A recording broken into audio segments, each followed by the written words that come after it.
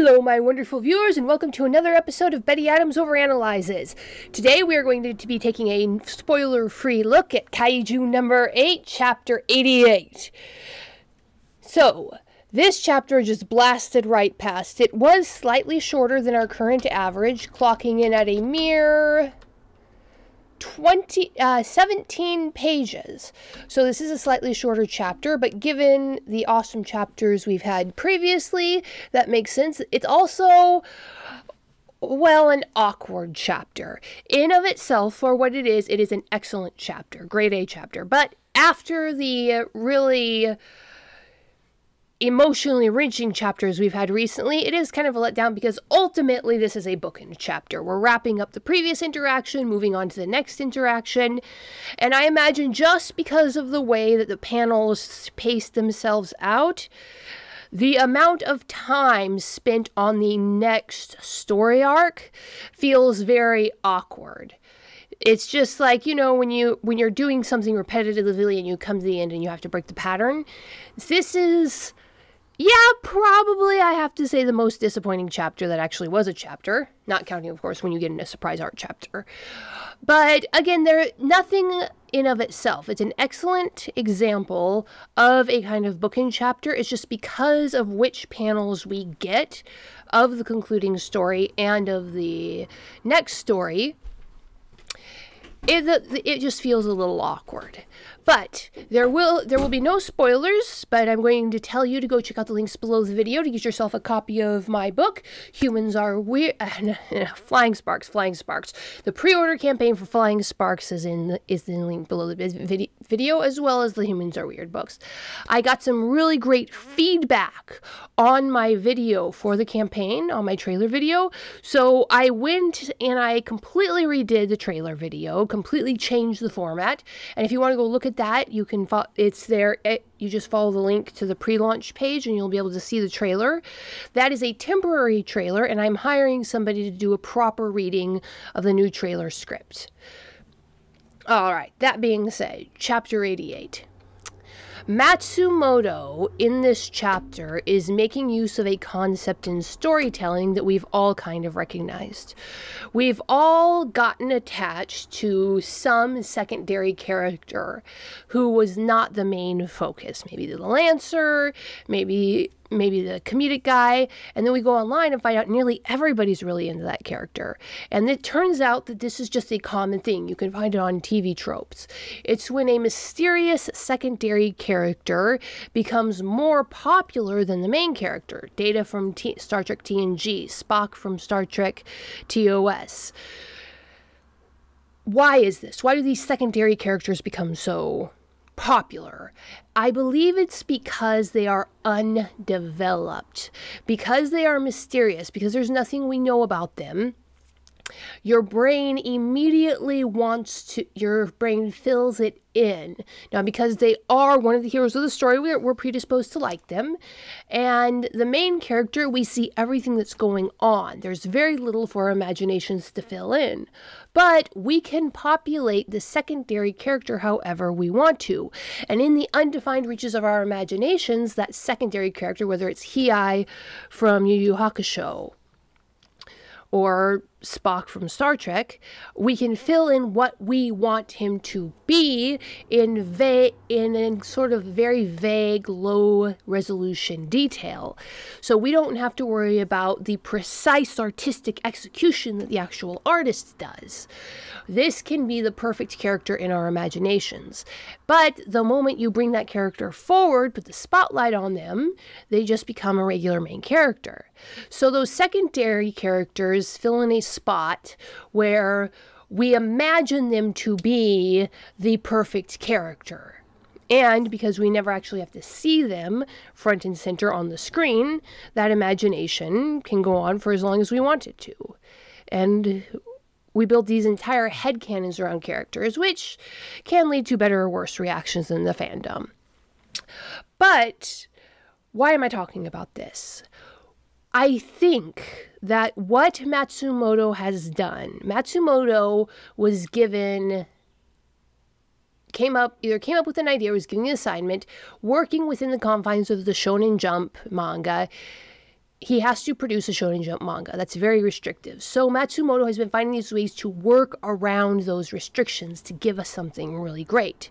And I think this chapter, chapter 88, is a really great example of how Matsumoto, either by instinct or by deliberate design, I don't know which, it'd be really impressive if it was by deliberate design, has harvested our expectations of manga and the natural fan reactions to stories and use them to his advantage. Matsumoto knows that Hiei was probably the most popular character in Yu Yu Hakusho, that Spock was probably the most ca- popular character in Star Trek. That secondary character are the ones that your audience is really going to get attached to. So Matsumoto didn't just give us one secondary character for our imaginations to work with. He gave us an entire division's worth of characters. We have Director General Isao Shinomiya, Vice Captain Hikari, that entire crew they had, the captain of the 4th Division, Atami, you can tell that these characters, there's an entire Shonen Jump series in the background that we are never going to get to see other than through these snips and backgrounds. And we and we've been talking about this. Grim Saber and I used to talk about this all the time. We want to know more about Hikari and Isao and their courtship and their training. But we want to know that because they are the secondary characters. Had the series been about them, we'd be saying that about the secondary characters of that series. It's just human nature to want what's behind the second door once you've opened the first door. And by doing this, Matsumoto has essentially created two series, two entirely separate series. Kaiju number eight, focused on Kafka and Mina and Kikoru in this generation, which is subject to all the restrictions of a real manga, all the restrictions of a manga that has been fully brought to fruition. All the lines are drawn, everything's down on paper, and there are massive restrictions to that. Everybody complains about this specific detail and that specific detail, but nobody's complaining about Hikari or Isao's story because in our imaginations it is the perfect story. We can make of it whatever we want. So we and what Matsumoto is doing just is just feeding us breadcrumbs about the. In this chapter, we get breadcrumbs. I don't think this is a spoiler about this intense friendship, this bond of brothers between Isao Shinomiya and director and Baldy, uh, Tommy, I think his name is. And you can just see their relationship. And that relationship was obvious from the first time we saw them interacting around that table they're talking to each other and just the way the things that Isao allows Atami to say to him without without a negative response showed that level of trust and camaraderie. And it was something that almost all the reviewers noticed, again, from that first panel of their interactions. And in this chapter, we get another look at that quiet warrior friendship that they have. And this is a clue that allows us to start again building that secondary manga series in our minds behind and beyond what we see in the current manga series. And I really, really do think that this is an action of Matsumoto's genius. Again, I don't know whether this is deliberate, as in he carefully crafted this, which would be true genius, or if it's instinctive, which is another form of genius. But Matsumoto is giving us essentially two manga at once.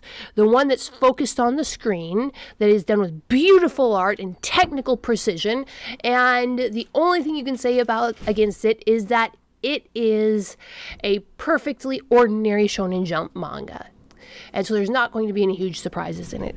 But then we have the second manga where everything happens, where the main characters do die, where the things that you can't have happen in the in the fully formed shonen manga do happen in the background. We have massive citizen death. We have failure, we have defeat, we have main character death. But because it's all happening in the imaginations of the audience and not on paper in ink, Matsumoto's getting away with it. So that manga that we want that's different from all the other manga, that actually has the guts to kill off main characters, we're seeing it, but it's in the background, it's in the negative space of Kaiju number 8. And then let's just talk about my one real disappointment. I was really, really hoping for a Mina chapter, and that does not say anything negative about this chapter or even the story as a whole, but I was hoping to see what Mina was up to. I did a whole video on it yesterday, but okay, and man, this chapter just blasted by so fast we get some really heartfelt Jin Narumi, which is, and now this is tricky to get a really heartfelt emotional scene with a character like, like Narumi without pushing it into Narm or cheesy. That takes skill. And again, it's just a classic shonen scene that takes up two and a half, three pages but it's done with skill. You don't think about the skill, you don't notice the skill. You you would notice it if the scene was cheesy or narmy, but you don't because it's just done with that much skill.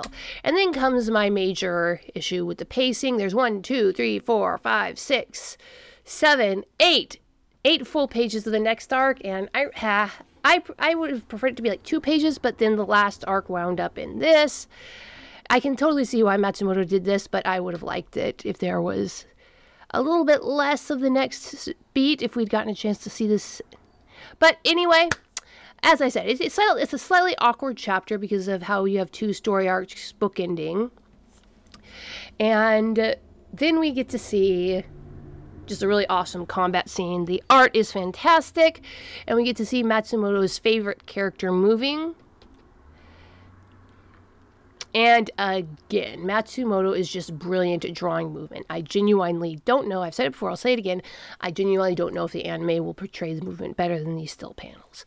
All right, but what do you think, my wonderful viewers? Do is, Was this chapter a little awkward?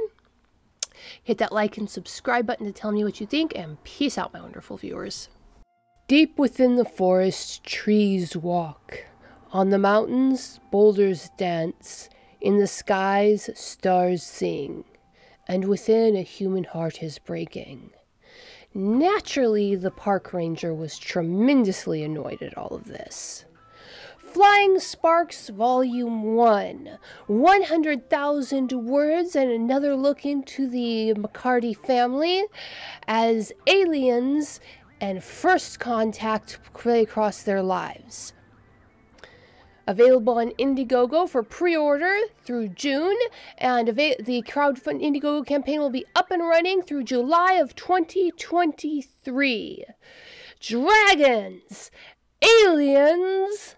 Check out the link below the video to go get yourself a pre-order of uh, Flying Sparks Volume 1. If you pre order before July 1st, you will also get a free copy of Dying Embers, the, the original book published in 2024.